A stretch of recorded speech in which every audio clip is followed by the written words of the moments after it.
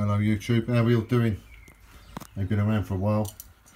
So anyway, I went up onto eBay, ordered some bits for the old Hofner here. We're coming towards like, you know, putting it all back together and finishing the bloody thing off. So, ordered some parts. I ordered one of these. The old, uh, the bridge, the arch top. Nice rosewood one. It's kind of alright. Compensated, like it's got the old, uh,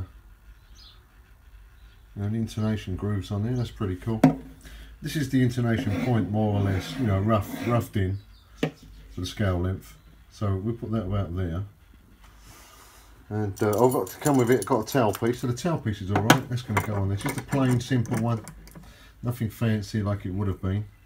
But that's alright, that will do the job. So that's fine. That's alright. But this thing is too high. And I know you're meant to sand them down, but this one is like way too high. And I've been on looking at all the measurements on all of them. I, I took basically I took a punt on this. I just ordered it. I went see it. That'll do.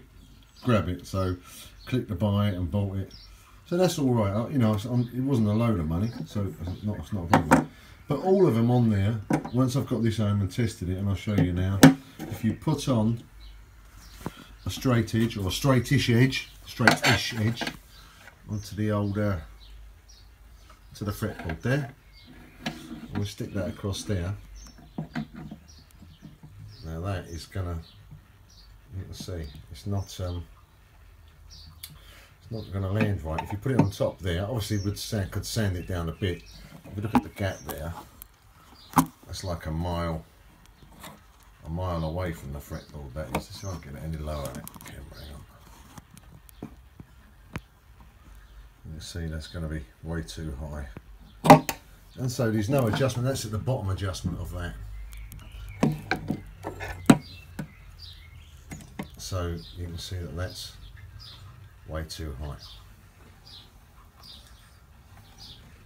So it needs to be like where the base of that bridge is, plus a bit, you know, upwards for your uh, for your string height. So I've looked on the internet again, on eBay and other and the Hofner bloody website, and they're all the same size. They're all the same. Let's put it on, you can see it better. They're all the same bloody size. So I don't know which way to go.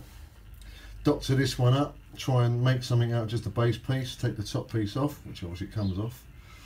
Or, don't know. So any suggestions from all you guitar heads out there, you guitar guys? Any suggestions? Stick them in the comment section below.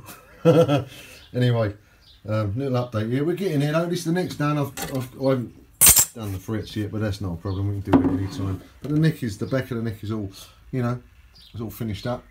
I've just got to put the tuners back on.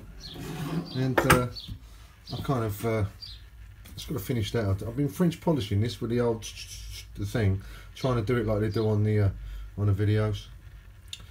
And uh, it's smooth and all that, but I'm still not happy with the outcome of this right right now, so I want to do it again. Anyway, there you go.